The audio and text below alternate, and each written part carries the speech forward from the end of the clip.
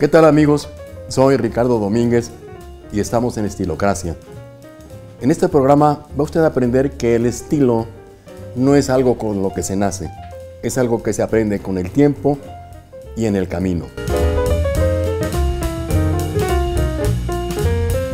En esta ocasión vamos a hablar de cómo se lleva a cabo una cena formal, pero con amigos con amigos de toda la vida, con amigos desde niños o con amigos recientes, pero amigos cercanos.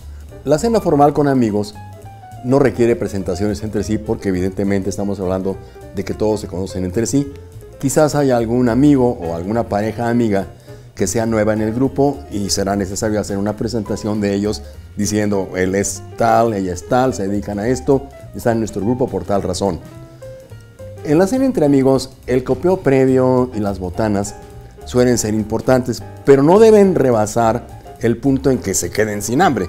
Recuerde, como se los he dicho otras veces, que la botana es para abrir el apetito, no para satisfacer al comensal. Se acomoda siempre hombre-mujer, hombre-mujer, separado a las parejas, para que la conversación pueda fluir sin que se interrumpa o sin que tenga que ver con los puntos de vista domésticos de cada pareja.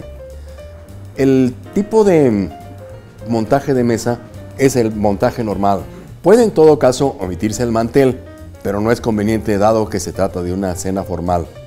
Ahora bien, si la cena formal es por algún motivo específico, por ejemplo, felicitar a la pareja amiga por sus 10 años de matrimonio o porque alguno de los miembros de este grupo tuvo un éxito particular en alguna actividad, esto debe hacerse desde el principio, hacérselo saber, para que al final de la cena se sirva la champán y se brinde por el éxito o por el asunto en cuestión que fue el motivo de esta cena. De esta manera creo que puede usted hacer una cena entre amigos con mucho estilo y con mucha formalidad. Amigos, eso es todo por hoy. Les recuerdo que le den like a mi programa, que se suscriban a Estilocracia en YouTube y nos vemos en la próxima.